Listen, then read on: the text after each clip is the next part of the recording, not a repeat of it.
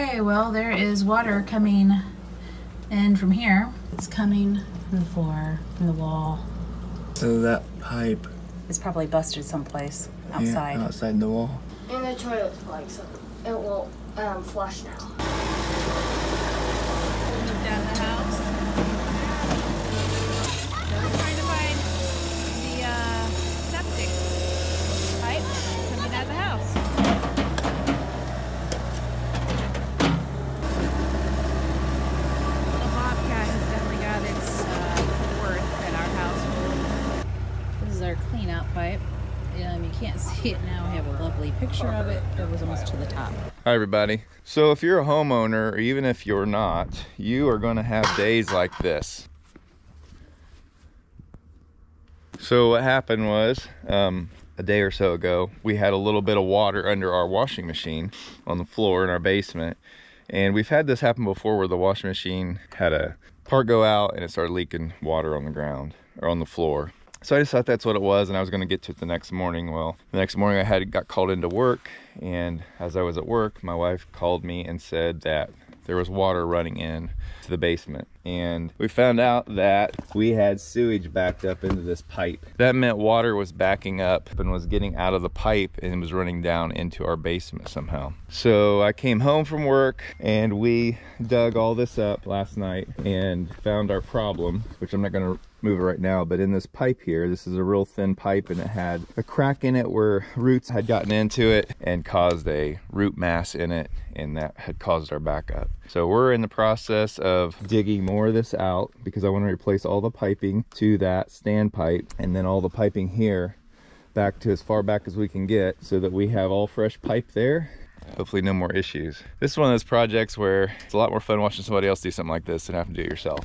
In the meantime, as we were digging this out, we actually hit our propane line. So we have to replace uh, our propane line as well, or at least splice it together.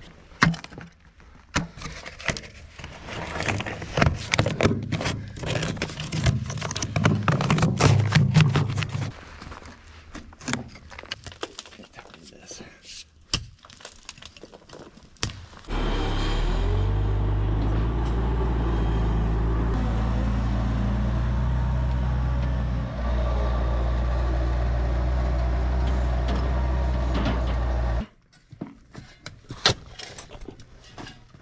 Just cut into the pipe, I think.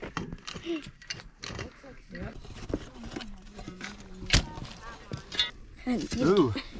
Yeah, and there's a root mass there. So we're getting close to the standpipe here, and uh, we hit a wire to our water pump. So we had to shut that breaker off so we don't get electrocuted.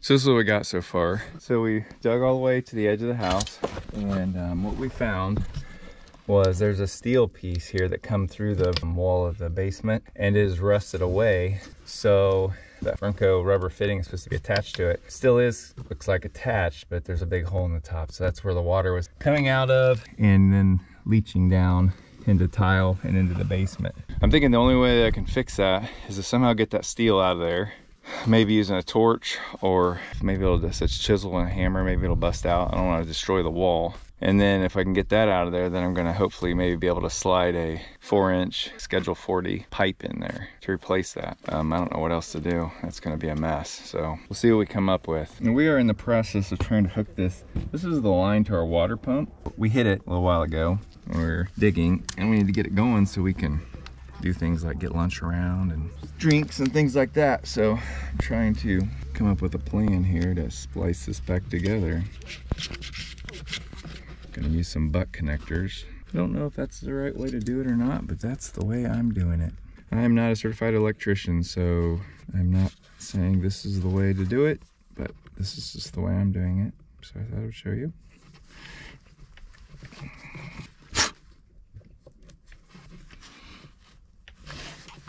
All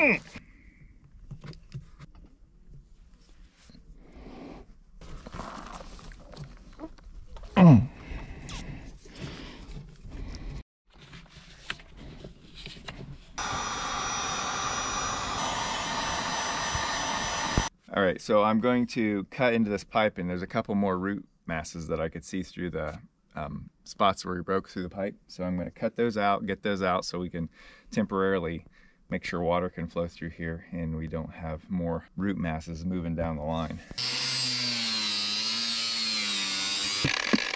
Look at that.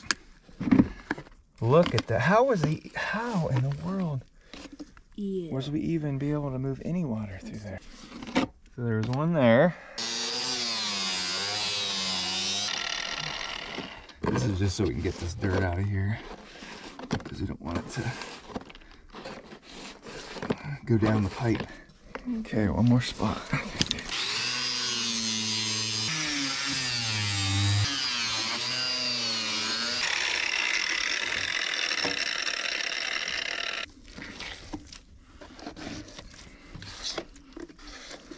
There we go.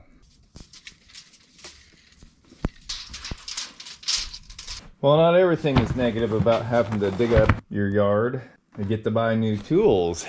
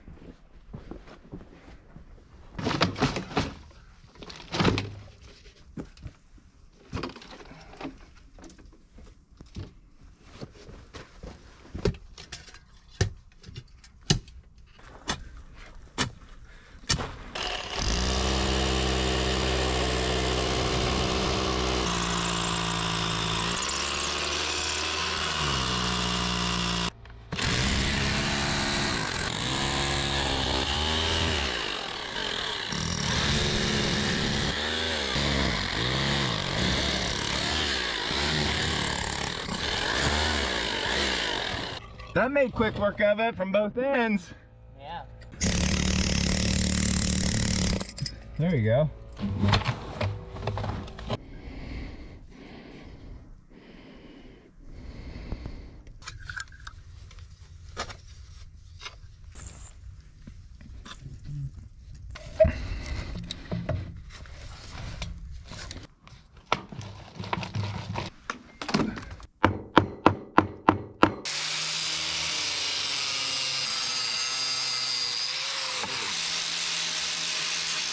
The inside pipe in. Yes, it is. Oh, Okay, so I think we're gonna have to lift that one up to get it I in. want to clean this off real quick. Sure. And as tight as it is. Although, I did not. That fits way better. Yeah, That'll work though. Tighten this Fernco up and we're ready to go. So that's what we got so far today. Or actually, over the last couple days, we finally got this new piping in. But I feel like we should go at least another pipe length back here because I'm not completely convinced that it is clear of roots. So I think we're gonna try to dig back another 10 feet today and get one more length of pipe in before we start covering this up.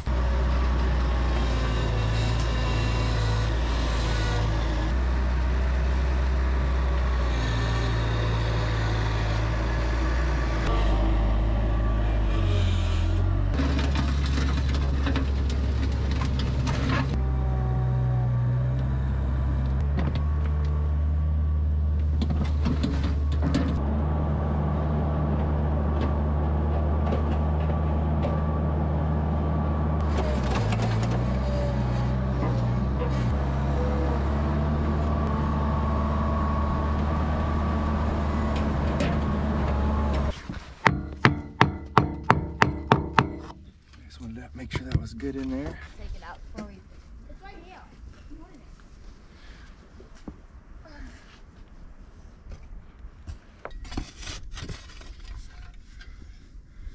Okay, let's see how this lays in here. I want you to put your foot behind this pipe. You want to smack it. You ready? Yeah. Right against it.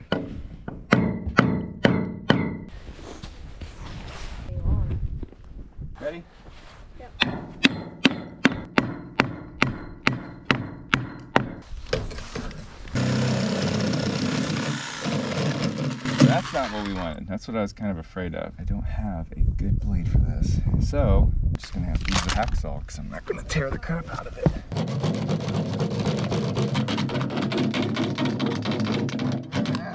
Now I'm out of room. I'm gonna just switch blades here and use a short blade. I have one that's like a hacksaw blade. It's just super, super short, but it might work. Good enough. We're gonna have to lift it down that way and then bring it back this way.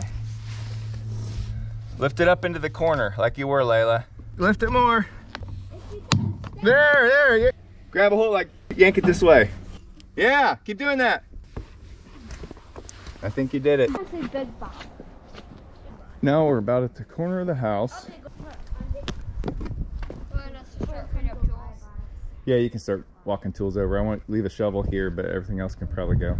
Well, that was a lot of work. I still have to cement around that pipe into the wall there, which I'll be doing probably tomorrow. All right, hopefully today is the last major day of working on this project. Today what we need to accomplish is to check the slope on this pipe to make sure that it's all at least a quarter inch every foot of slope so that the sewage runs like it should. Then we also need to cement around the pipe on both inside and outside. And then we're gonna start carefully covering up the rest of the pipe. After we fill in some of this hole, then we're going to reattach the gas line.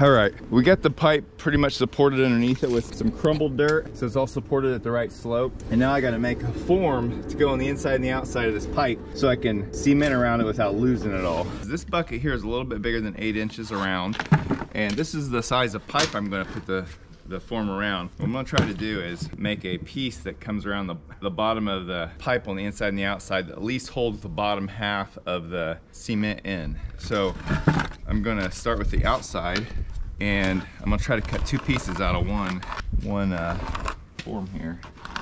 So this is gonna be the outside diameter. And then set this right in the middle. This should make it work around the pipe because it's a four inch pipe. So I should be able to cut the inside out and then the outside out and have a form, cut it in half, have two forms, one for the inside, one for the outside.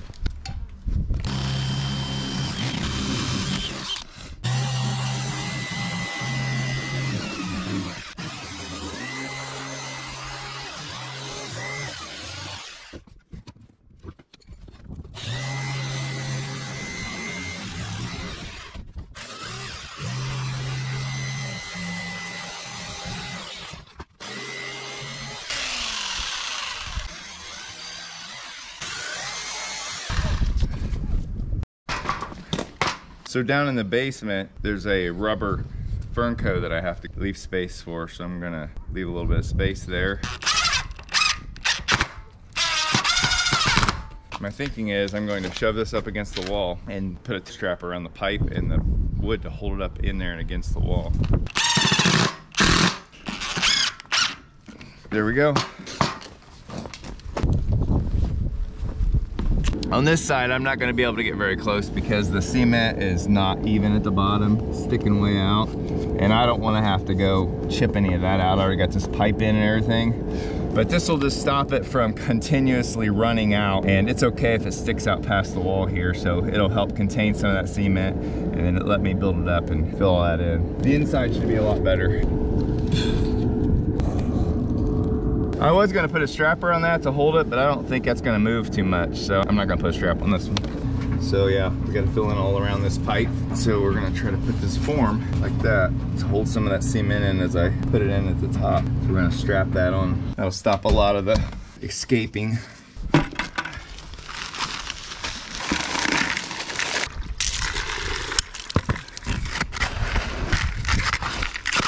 This cement I think is a 20 to 40 minute set time.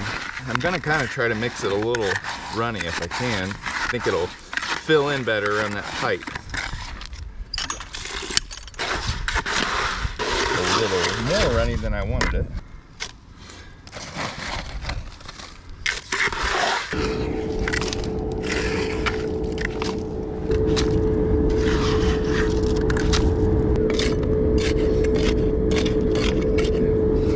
Okay, we're gonna go in the inside and work on some of that and then come back out and put some more stiffer stuff on top of this stuff.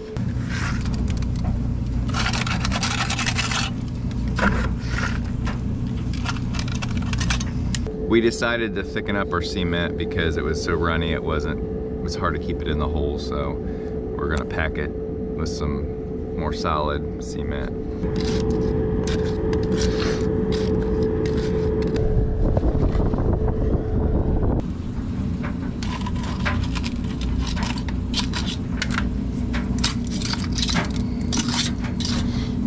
Definitely used more of a sand-based cement or mortar I had to do this over again.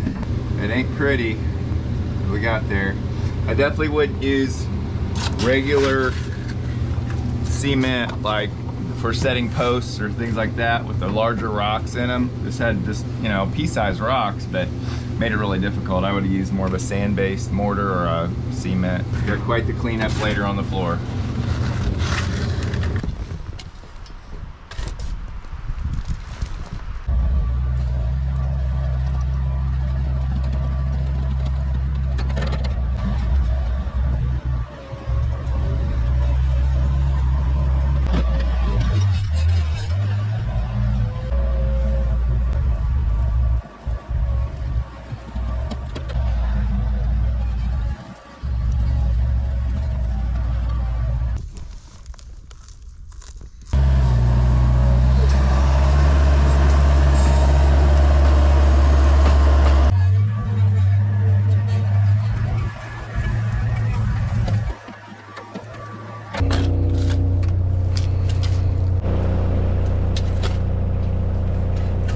Today I'm going to be showing you how to splice a propane line together using flare fittings.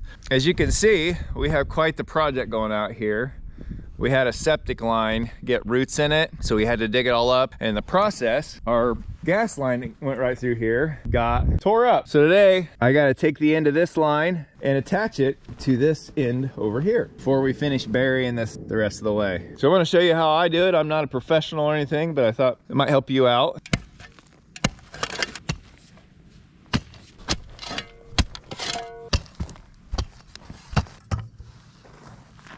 You have to use a specific tool for cutting pipe. This tool is used to cut copper, aluminum, and maybe some other types of piping.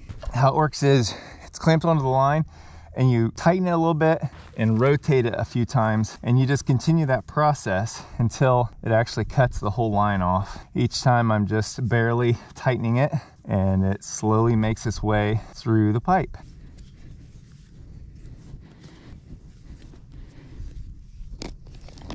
Now you can just take your tool and deburr the middle of it.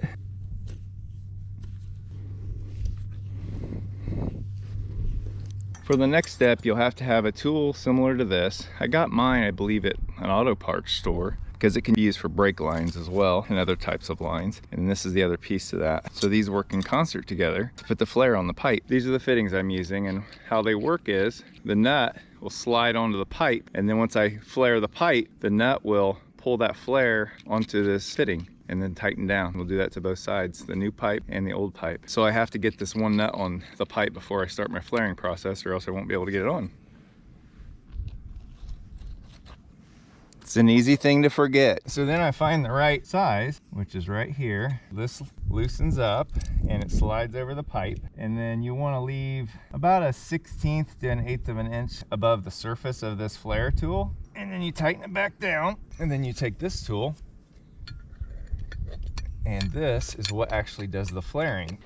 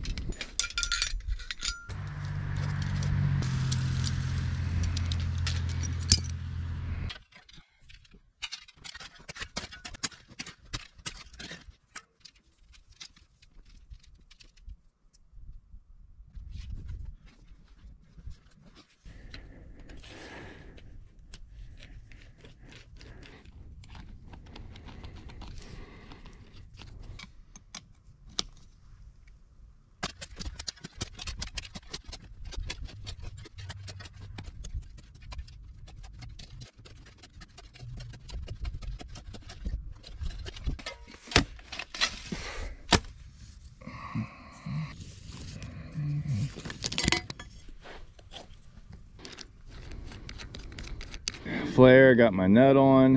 I'm ready to connect these two pieces together. Before I do that, I'm gonna turn my gas on and just blow out this line in case there's any chips or anything, any dirt. So all the air movement down there, line should be cleaned out now. All right, now I'm just gonna work on this line to try to make it nice and straight. And then we'll be checking for leaks at the fittings. All right, got the line flattened out in the trench there that I dug. This line is probably 18 inches below the actual surface of the ground. Now I'm gonna turn the gas on and smell for any gas leaks.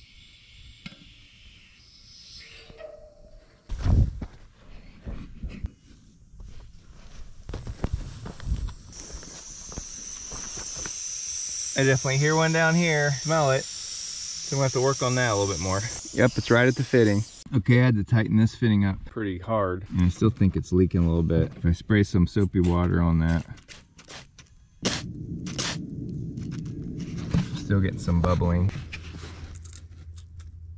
Right there. This fitting was leaking, so I put a lot bigger flare on this. We'll see how it does. All right, I checked both ends where the fittings were at and I got rid of all the leaks. I had a problem down at that end. I re-flared it, made the flare bigger. I think that helped, but I still really had to crank down on the, the nut and the fitting to tighten it up and get rid of it. But I think we're all good now. So I'm gonna start filling this in with some dirt and covering this up. Hope you got something out of this video. Good luck with all your projects.